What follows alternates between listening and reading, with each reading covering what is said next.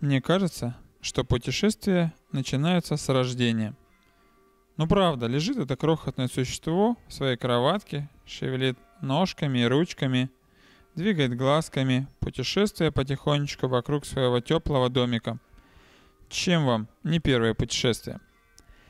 Потом ползем по кроватке, перемещаемся вместе с родителями.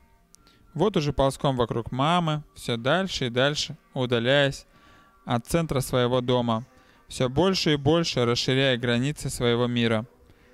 И кто-то не остановится до тех пор, пока эти круги, кругосветки вокруг дома не зацепят космические пространства. А кому-то достаточно исследовать радиус. Дом, школа, работа, дача. А в чем тут причина, я и не знаю. Но тут, скорее всего, дело в том, что все заняты своим делом, и у каждого свой радиус, на который он отдаляется от дома. И это хорошо.